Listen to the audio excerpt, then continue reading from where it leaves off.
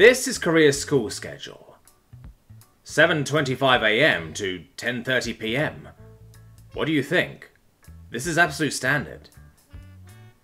But we are a Polish country in 60s, and no resources at all except human.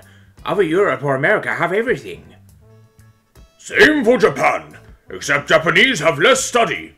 Still pretty much, but have bigger and better companies than Korea, and is better than Korea in every way. Shut up, red button nip monkey! Jap school schedule look like this. 7 a.m. Come to school. Parent no kiss you bye. Love is not in Japanese.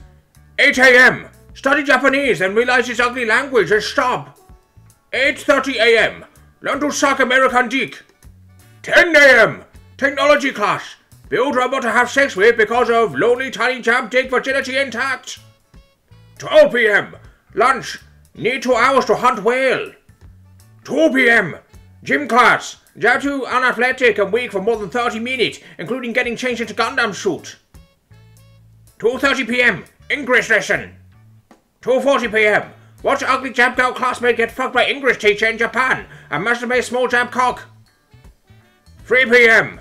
Learn math. One on one bomb is end of war. 4 p.m. Learn to deny war crime.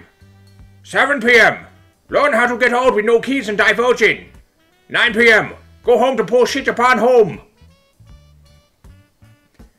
Korea schedule! 5 a.m. Wake up because must prepare for ugly life as Gook. 7 a.m. Pretend Takeshima is called Dokdo and is Korean even though Japanese government purchased the island. 8 a.m. Study kanji. Oh no, where's Korean not smart enough to study kanji, so study ugly lines. 9 a.m. to 9 p.m. Plastic surgery because Koreans are ugly. Come Japan, I will kill you ugly cockroach. 7 a.m. Study kanji. Oh, wait.